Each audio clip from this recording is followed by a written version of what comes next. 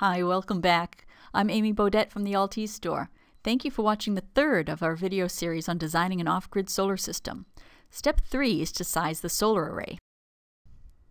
We'll discuss the different considerations that go into determining how many solar panels you need. We're making good progress. Videos 1 and 2 showed how to determine the loads and battery bank. Now we'll do the solar panels. Just a quick reminder of the components that make up an off-grid system. We're on to the panels now. You may recall the loads list we did in our previous video. We came up with a total usage of 2191.5 watt hours a day. We're rounding up to 2192. So how do we go about doing this? Insolation, also referred to as sun hours, is not the number of hours a day that the sun is shining. It is the number of hours that the sun's intensity is equal to standard test conditions, or the brightest part of the day.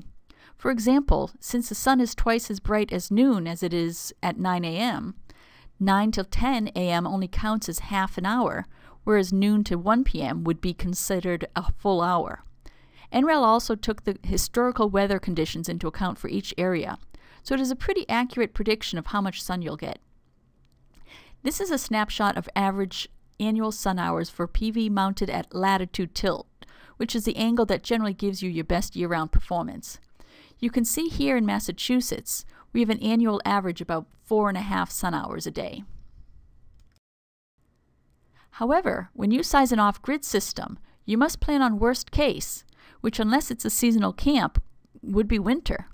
As you would imagine, the sun hours drop off dramatically. So here in Massachusetts, in the winter, we drop down into the twos. So designing my system, I'm going to look at the sun hours for December. I'm designing my system to be tilted at 42 degrees off horizontal, so I can look at my numbers for latitude, which is 42.27 degrees here. If I had it at a steeper angle, I would increase my winter production, but decrease my summer production. Conversely, if I had it installed at a lower angle, I would increase my summer and de decrease my winter. Because winter in New England is pretty grim, with December going days without ever seeing sunshine, I'll be planning on using a generator when needed. But I'm still going to design this trying to optimize my solar contribution and only use a generator when needed.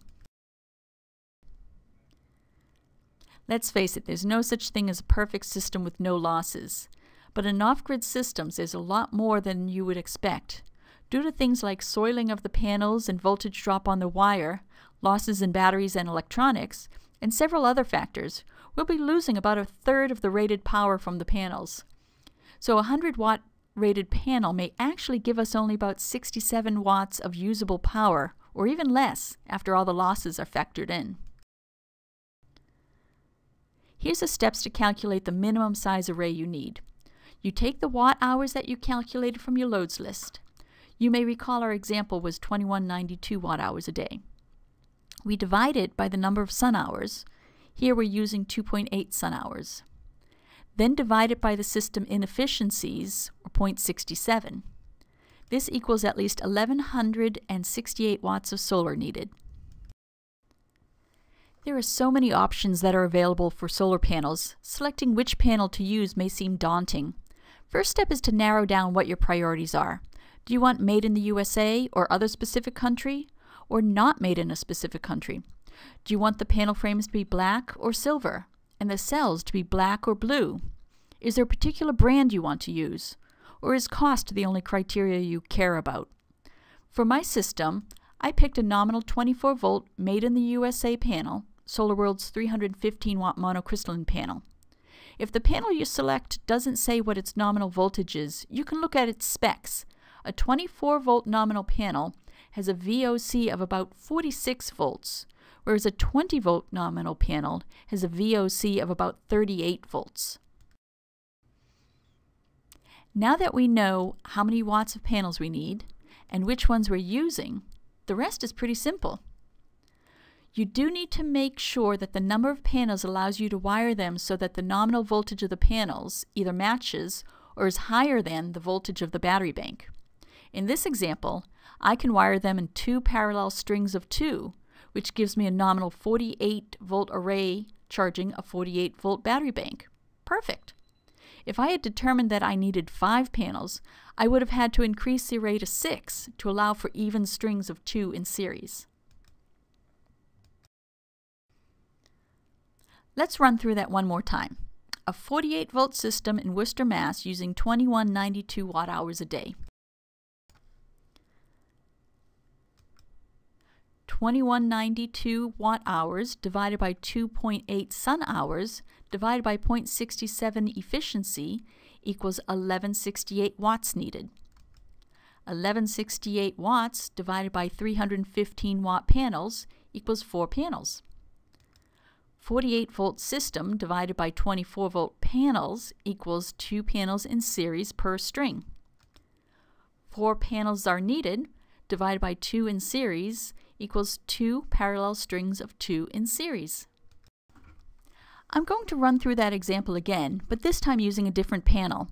Nominal 20 volt panels are usually used for grid-tied systems, not battery-based, and as such their voltage does not easily match up with a typical battery bank. But with an MPPT charge controller, which we'll discuss in the next video, you can use the grid-tied panels in a battery-based system.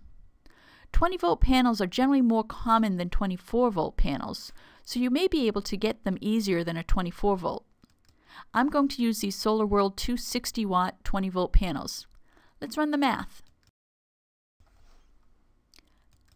2192 watt hours divided by 2.8 sun hours divided by 0.67 efficiency equals 1168 watts needed. No change there.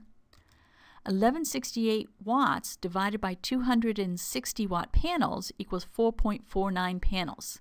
Hmm, this is where it starts to get interesting. Let's put a pin in this and come back. 48 volt system divided by 20 volt panels equals 2.4 panels in series per string.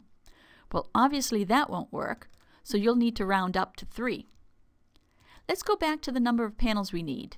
If we have to have strings of 3, we need the total to be divisible by 3. So we'll have to round up to 6 panels. So now that we need 6 panels, we divide that by 3 in series, and that gives us two parallel strings of 3 in series. Well, that's it for the third video for designing an off-grid PV system. Watch the next videos in the series for how to select the charge controller and inverter using the numbers you came up with from these sessions. Also watch more of our video series on our website and peruse our selection of solar panels. We've got a team of highly trained sales reps available to help you plan your system. Give us a call. Thanks so much.